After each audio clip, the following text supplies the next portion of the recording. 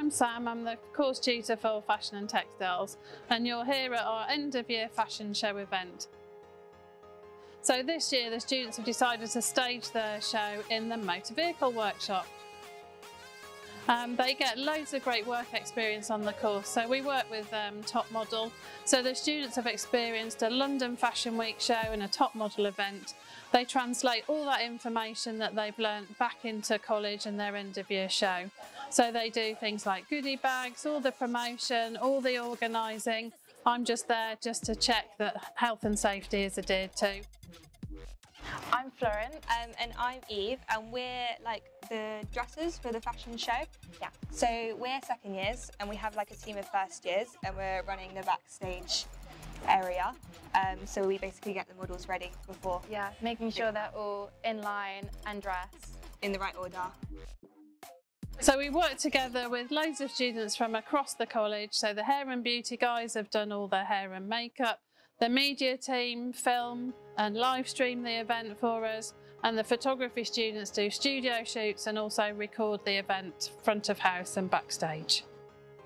Hi, my name's Lizzie and I'm the director for this fashion show. Main job, organising everything up to the fashion show and then making sure everyone knows what their jobs are on the day. I feel quite good because I'm quite organised. I feel in control, like everyone works together well as a team.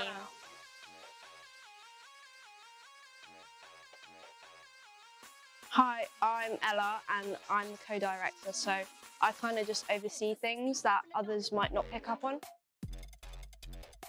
So the models come down here when they've come off the runway. They come here and that's where they start undressing whatever they wore and all the people will start helping them and then they get dressed into the next outfit. And then once they've dressed, they come all the way around here and queue up ready to go on the runway. Hi, I'm Louise. Um, I'm introducing the show with Maddie at the beginning and then I'm working backstage on the media to get the presentations going whilst the models are walking. Hi, I'm Maddie. I'm also introducing the show and I'm also working backstage getting the cues right for the music and the presentation. Um, there's like a lot going on. It's like the fun thing of like a whole year two years at college, so it's really exciting to see it all come together. Hello, my name is Lewis and on today's show I am the audio technician, so I'm in charge of making sure the music is being played and I'm also taking on the projections as well. Hi, I'm Emily and I'm the vision mixer, so I'm cutting from the different cameras and making sure the show comes together up to the stream. Hello everyone, my name is Omar Mansoor. I run a couture label in London and I've been supporting Farnborough College of Technology and their students over the years attending their fashion shows. And one thing I was wondering, if the second year is doing this good, what they're going to do when they're going to go to college and graduate? It's already like at par. What do you say? I agree with you. I agree. My name is Jeff Cox. I'm executive producer at Top Model Worldwide and Fashion London, London Fashion Week. The students come and work with us backstage and designers like Omar and, and our colleagues do an amazing job.